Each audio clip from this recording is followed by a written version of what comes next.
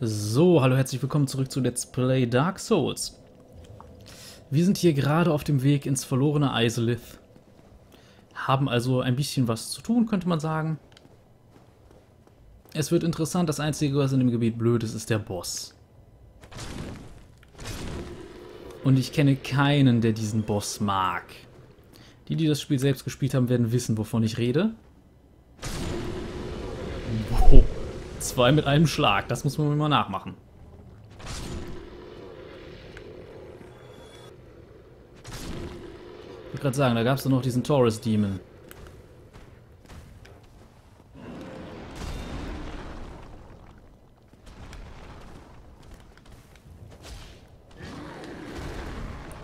Hör mal, da muss aber noch zielen übeln. Okay, das hat mich noch erwischt. Zumindest teilweise.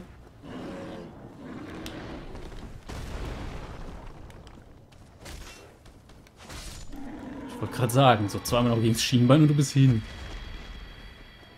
Ja, hier gab es noch den, der ist lästig. Ich erledige den jetzt einfach mit meinen Blitzen, um sicherzustellen, dass der nicht stört.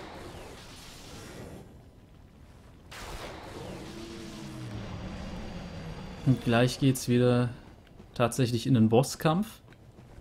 Also was Isolith angeht, es gibt eine Abkürzung. Die habe ich auch schon gezeigt. Aber ich nehme die nicht. Ich will das Gebiet durchaus mitnehmen. Also hier ist ja die Abkürzung, die ich auch geöffnet habe. Aber hier.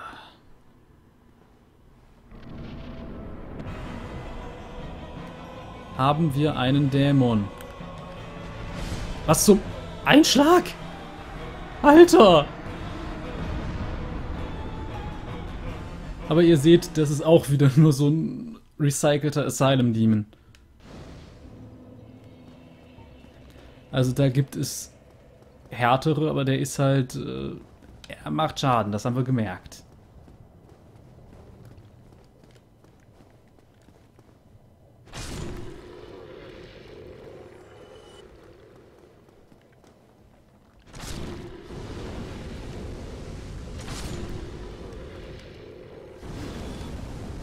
Okay, da standen wir doch mit drin. Hey, man muss auch treffen. Ich wollte jetzt mal ohne Anvisieren probieren, aber... So geht's. Ah, ich glaube, da nehme ich jetzt... Die großen Blitzspeere bewahre ich mir auf jeden Fall für den Dämon auf. Jesus Flakon kann ich nehmen, aber...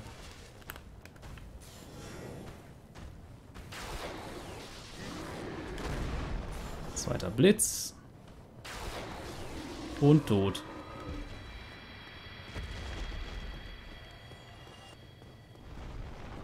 Ich laufe hier einfach vorbei, der interessiert mich gar nicht.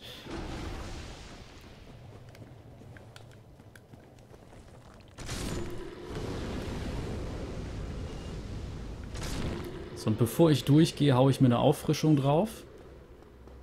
Oh,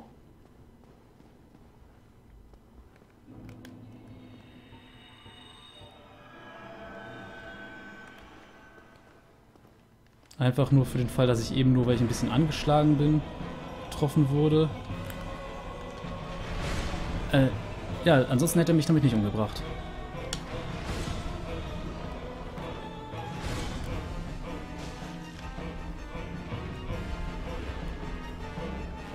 Übrigens, auch wenn der brennt, der ist nicht immun gegen Feuer.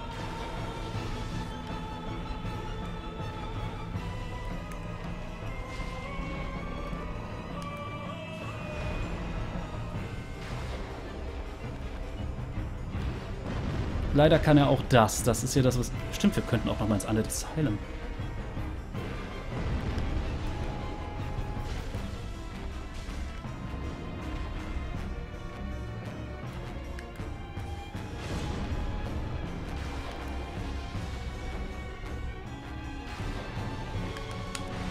Alter! Das nicht Reichweite und Schaden.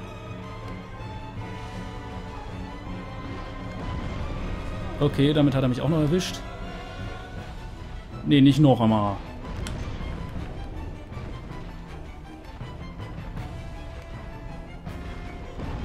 Ich kann sagen, das ist jetzt so ein Scherz.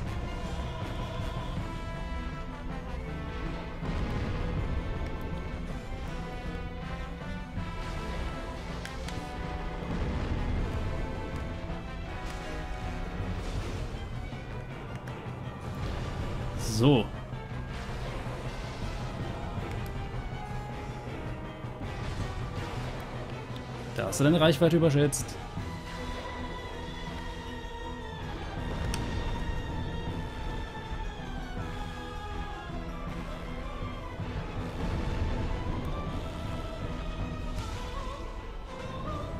Okay. Mit einem Blitz in den Wanst. So geht's doch. Hat was gedroppt? Dämonenbeschleuniger. Ich weiß nicht, ob der das als Rare Drop hat. Ich gucke es mir auf jeden Fall mal an. Das ist halt für einen Zauberer, so wie es aussieht. Waffentyp-Beschleuniger, Angriffsstoß. Dämonische Waffe aus geschmolzenem Gestein von Iselith. Die Waffe des Dämonenfeuerweises. Der Dämonenfeuerweiser war ein, war der erste, nee, Feuerweiser war der erste Dämon und letzte Meister der ursprünglichen Feuerkünste, bevor die Hexe von Iselith vom Chaos verzehrt die Pyromantie schuf.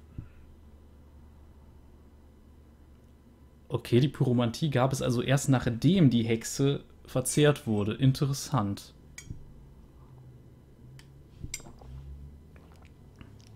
Darauf ein Schluck Tee. Ähm, ja.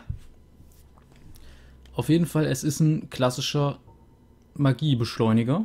Also man braucht dafür halt entsprechend äh, Intelligenz und kann damit Zauber wirken.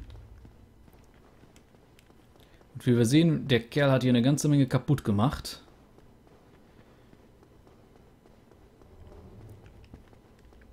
Und hier ist zwar ein bisschen dunkel, aber da gibt es Schlimmeres. Schon wieder. Eigentlich müsste ich schneller sein als der.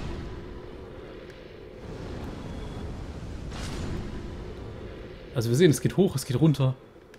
Wo gehen wir hin?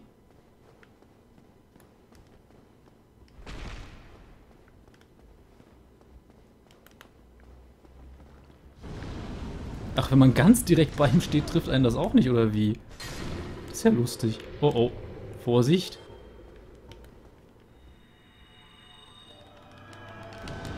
Lauf! Oh.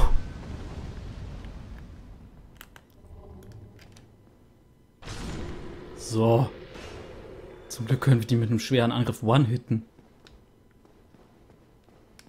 Also ich gehe erstmal nach oben aus dem einfachen Grund. Hier dürfte nämlich was Bestimmtes sein, was sehr nützlich sein kann. Kann auch sein, dass ich mich irre. Ich bin mir nicht mehr hundertprozentig sicher. Ah, Moment. Für euch reicht eine explosive Wucht.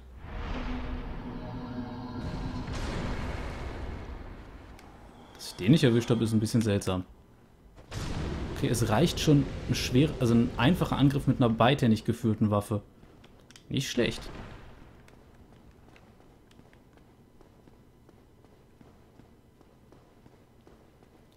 Ja, hier ist, was ich gesucht habe.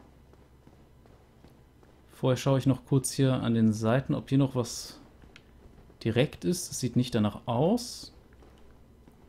Treten wir mal hier drauf.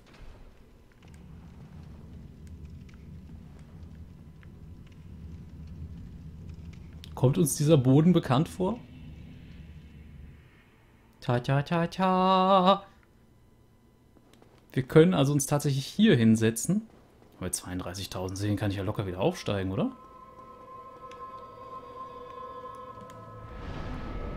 Ja, leider hatte dieser Boss keine Seele dabei, aber immerhin eine gewisse Menge an Seelen. Ach, praktisch. Eigentlich habe ich irgendwie... Komm, jetzt wo wir diesen einen schon erledigt haben, ich war doch noch nicht wieder in dem untoten Asyl und äh, wir können uns ja jederzeit hierhin teleportieren. Asyl der Untoten kann ich gar nicht von selbst tun, da muss ich... Okay. Also Feuerband schreien. Und mich wieder ins Krähennest legen.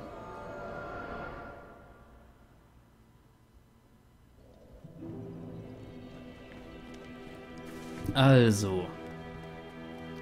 Wir kennen die Prozedur, aber das möchte ich jetzt auf jeden Fall machen, ehe ich das einfach vergesse. Sonst hätte ich meinen 100%, also alle Bosse nicht... Äh, ich muss den ja erledigen. Geht nicht anders. Das kratzt sonst an meiner Ehre.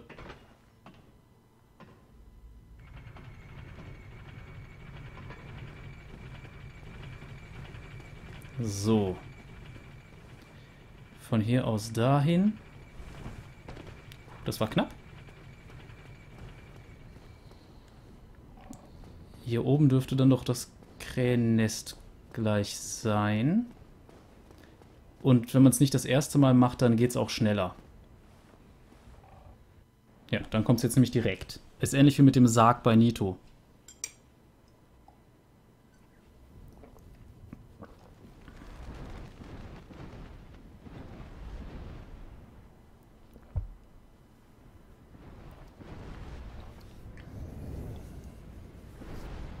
Da werden wir als Stück Trockenfleisch mal mitgeschleppt. Ich gieße mir ein bisschen weiteren Tee ein.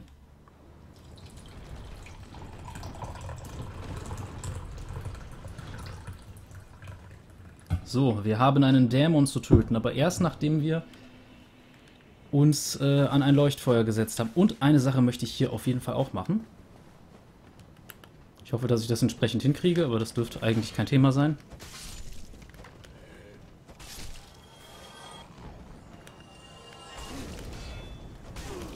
Mann. Diese Feuerhüllen, also Fackelträger nerven von denen aber richtig. So, hier gibt's doch jemanden. You, you, give me warm, give me soft.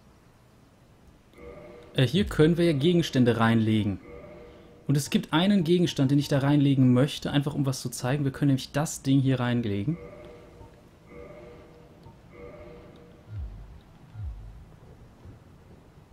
Hier könnten wir das Ding natürlich auch direkt wieder aufnehmen, aber ich meine, es müsste uns auf jeden Fall was geben, wenn wir das da drin liegen lassen. Äh, oder ablegen, ja.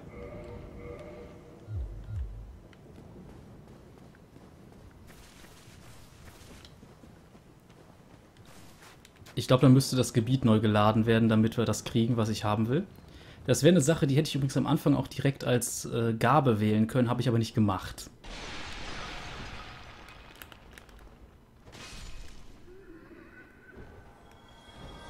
Wieso breche ich eigentlich an der Stelle ein und du nicht?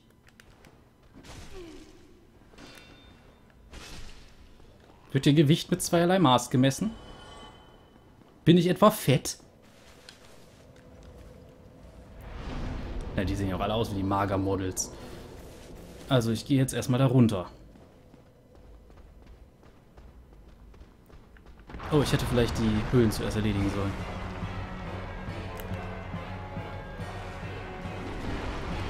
Äh, komisch, beim anderen konnte ich das blocken.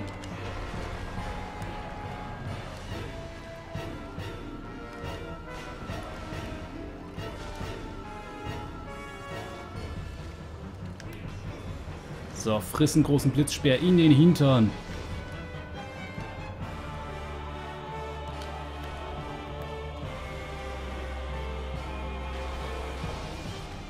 Oder eben in die Wampe.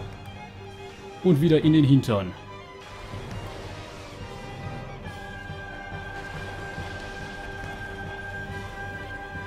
Gerade läuft es überraschend gut.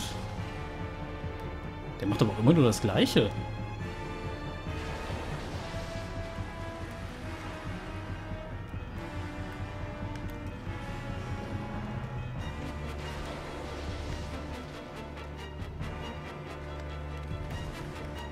So. Jetzt noch einer und du bist hin. Tatsache, hat geklappt. Ohne Probleme, erster Anlauf. Und er droppt was. Eine graue Scholle, das ist nett. Menschlichkeit, Heimkehrknochen, auch nicht schlecht. Ähm, Schollen sind halt Items, die man nicht direkt so unbedingt äh, farmen kann, wenn ich mich recht erinnere, sondern da gibt es nur ein paar im Spiel, also pro Durchlauf, die für die letzte Aufwertung von, äh, von Waffen und Rüstungs... Ne, von Rüstung weiß ich gar nicht, aber von Waffen auf jeden Fall gebraucht werden. So, es gab hier auch irgendeinen Weg raus. Es gab irgendwo, glaube ich, eine Leiter. Oder ist ja dann Leuchtfeuer? Ich weiß es nicht mehr. Auf jeden Fall kam man hier auch irgendwie wieder raus. Meine ich.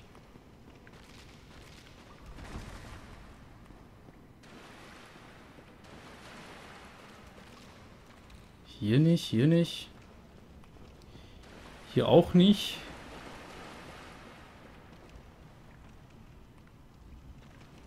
Ah, hier. Worum es hier hingeht, ich weiß es nicht mehr so ganz. Also hier ist nichts. Hier ist was.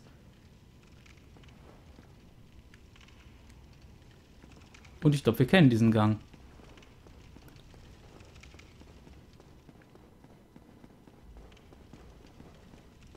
Wir waren hier auch schon überall und haben da quasi...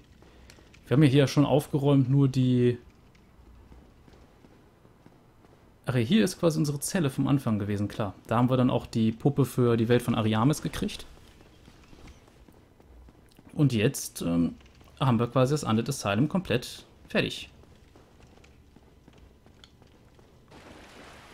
Bin ich persönlich froh drüber. Moment. Hier ging es dann wieder hoch, genau. Und ich bin mir nicht sicher, ob jetzt das Item ausgetauscht ist oder nicht. Ach.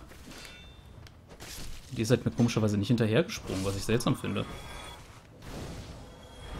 Ich habe mich gewundert, warum das Ding nicht gebrannt hat. Naja.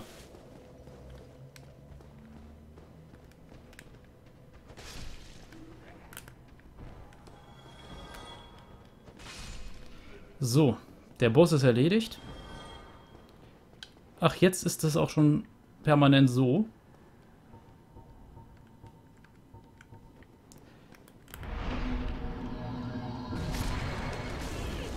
Okay, du springst hier also einfach an. Ungefragt.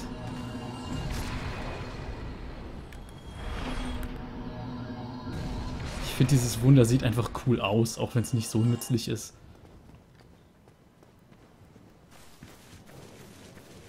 Hat die Krähe was getan? Nee, dann muss ich also tatsächlich einmal das Gebiet irgendwie neu laden. Ähm also ich bin mir ziemlich sicher, dass es so funktionierte. Und ich muss auf jeden Fall die Sonnenlichtmade abgeben. Ach, wisst ihr, was der schnellste Weg zum Neuladen ist?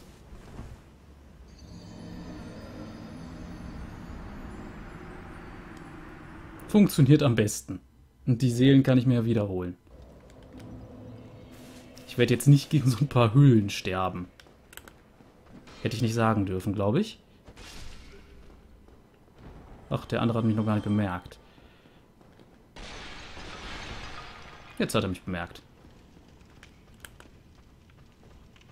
Ach, und jetzt ist das Ding auch wieder zu, also der Boden.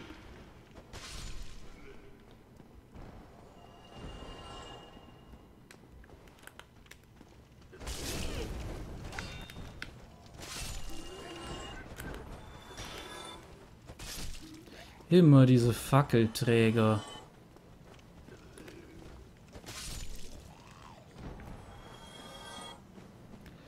So, ich hoffe, dass das jetzt funktioniert hat. Zumindest liegt er... Ja, da liegt... You, you, give me warm, give me soft. So, verlorene Energie wiederherstellen und Gegenstand nehmen. Alter Hexenring. Wenn ihr euch jetzt fragt, was zum Geier will ich denn mit dem alten Hexenring? Das zeige ich euch mal.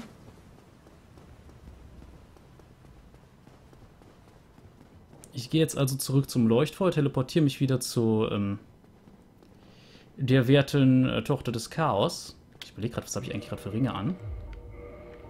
Was passiert, wenn ich Havels Ring ausziehe? Wäre ich dann deutlich langsamer? Alter Ring mit unbekannter Herkunft. Äh, äh, Wirkung, meine ich. Ring einer alten Hexe. Der Ring trägt eine feine Inschrift in der seltsamen nichtmenschlichen Sprache, doch ist anscheinend nutzlos. Ja, tatsächlich rollen wir dann langsamer. Teleportieren wir uns jetzt erstmal zur Tochter des Chaos. Und jetzt wird es sehr interessant. Und das ist auch das Einzige, wofür dieser Ring gut ist, meines Wissens nach.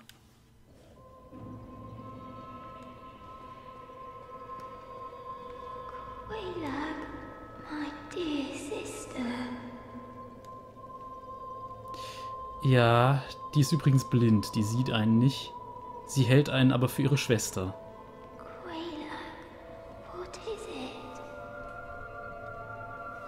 Wir können halt weiter mit ihr reden.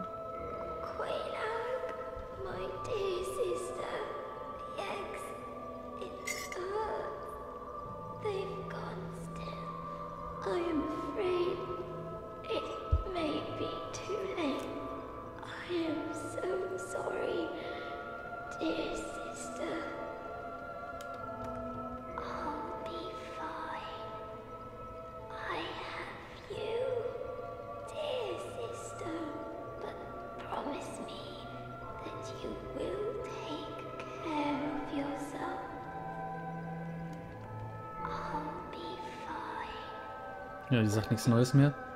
Äh, es ist nämlich sehr interessant. Je mehr Menschlichkeit man der gibt, desto weniger Schmerzen hat die. Und das erklärt vielleicht auch, warum Quilak uns angegriffen hat. Wir sind ein Mensch. Und Menschlichkeit scheint ihrer Schwester, die ja die Aufgabe der Feuerhüterin angenommen hat,